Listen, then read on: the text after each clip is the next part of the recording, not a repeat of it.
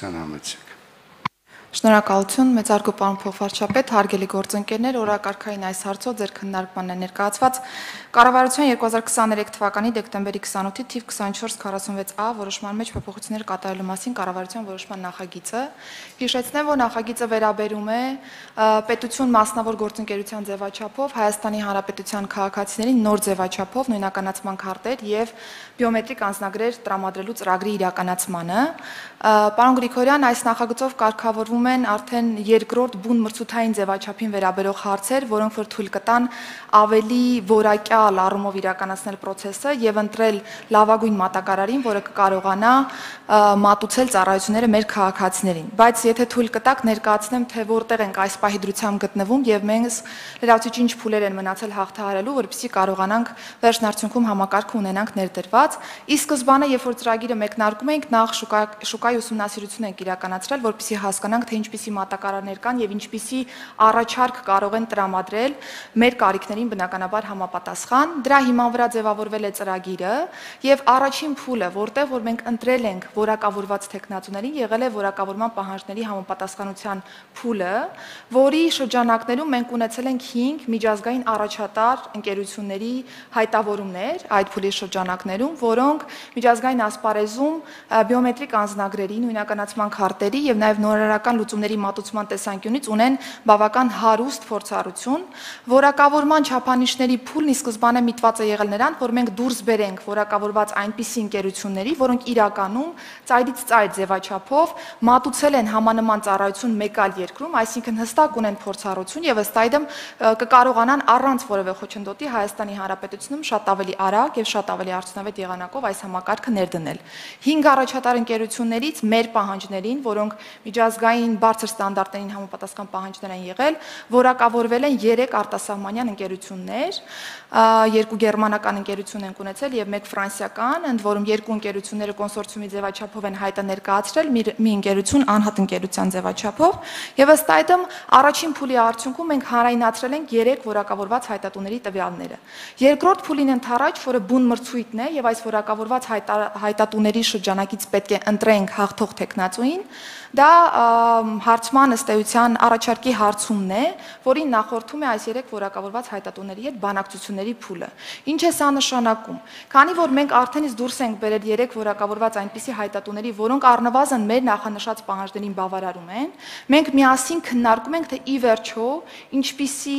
ծառայություն եւ ինչպիսի համակարգ է ներդրվելու Հայաստանի Հանրապետությունում, որը մի կողմից կկարողանան տվյալ մասնակիցները բավարարել դրան ընդհանուր առմամբ, այսինքն իրագործելի պայման պայմաններ որպես այդպեսին կառաջարկենք եւ մյուս կողմից իրականում նոր որակի ծառայություն կկարողանանք ապահովել այս ծրագրի շրջանակներում։ Այժմ բանակցությունների փուլն է եւ մենք հայտատուներից ունենք խնդրանք, որpիսի մի փոքր երկարաձգենք իրենց կողմից վերջնական, այսպես ասեմ, առաջարկների եւ խնդիրների քննարկման հետ կապված փուլը, որpիսի մենք առաջարկի հարցումը ձևակերպենք շատ ավելի գրագետ եւ վերջնական, որովհետեւ այս փուլը արդեն ամենակարևոր փուլն է ամբողջ process-ի, որտեղ որ սխալվելու հավանականություն ունենալ չենք կարող եւ հետեւապես պետք է ի վերջո գծագրենք այնպիսի առաջարկի հարցում, որը կբավարարի մեր բոլոր կարիքները որpիսի բովանդակային առումով པարզ լինի թե ինչպիսի հարցեր են քննարկում այս պայն որակավորված հայտատոների հետ եւ նաեւ ընկալելի լինի թե գործընկերները ինչու են ժամանակ հայցում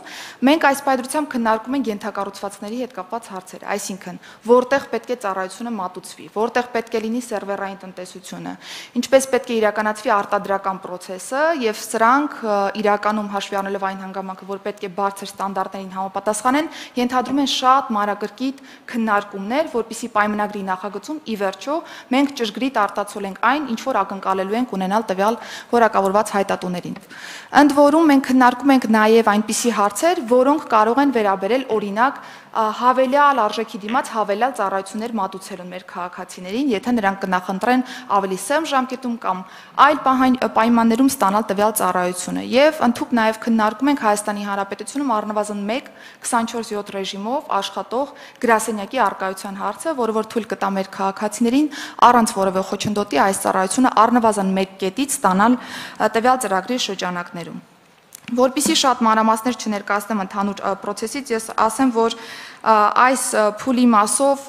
մեզ համար կարևոր է առաջարկի հարցում այն տրամաբանության մեջ, որ սա նաև ԵՄ-ի հետ վիզաների ազատականացման երկխոսության տրամաբանության մեջ կարևոր հենասյոնային ուղղություն է եւ մենք բիոմետրիկ փաստաթղթերի եւ տվյալների անվտանգության բաղադրիչի շրջանակներում իրականում անվտանգային այնպիսի կանոններ ենք նախատեսում, որոնք կբավարարեն բարձր ստանդարտներին։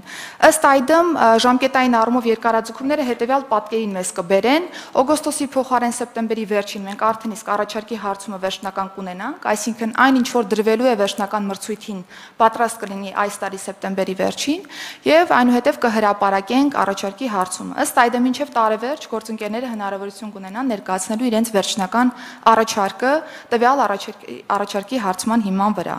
Ըստ այդմ 25 թվականի սկզբին կսկսեն գնահատման process-ը եւ մեր հաշվարկներով, եթե process-ը հարթ ընթանա եւ բողոքարկումների եւ մնացյալ տեխնիկական խոչընդոտների չբախվենք, մարտին արդեն կունենանք հաղթող ընկերություն, որին կհաջորդի պայմանագրի կնքումը։ Ես նշեմ, որ մինչեւ 1 տարի ժամանակ կունենա մատակարարը, որպիսի ենթակառուցվածքները բերի այն վիճակին, որը ակնկալվում է պայմանագրով եւ ըստ այդմ 10 տարի ժամկետով կկարողանա այս ծրագրի շրջանակներում մատուցել քաղաքացիներին այս ծառայությունը։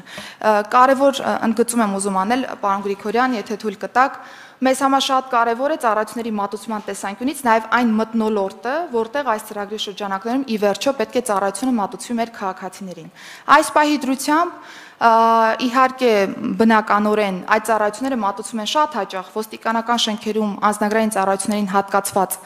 գրասենյակների միջոցով, որը մեղմ ասած չի բավարարում հանրային ծառայությունների մատուցման այն ստանդարտին, որը որ մենք ուզում ենք տեսնել Հայաստանի Հանրապետությունում։ Եվ հետևապես պայմանագրի շրջանակներում գրասենյակները կլինեն մասնավոր գործընկերոջ կողմից ձեռք բերված գրասենյակներ, որոնք կլինեն ոչ ոստիկանական շենքերում բնականաբար, եւ դրանք կունենան սպասարկման որակին համահունչ պայմաններ եւ բնականաբար նաեւ սերվիս։ Շատ կարճ թերևս այսքանը շնորհակալ եմ։ Շնորհակալություն, Տիկնիկ Սարգսյան, բայց բացի գրասենյակներից on-line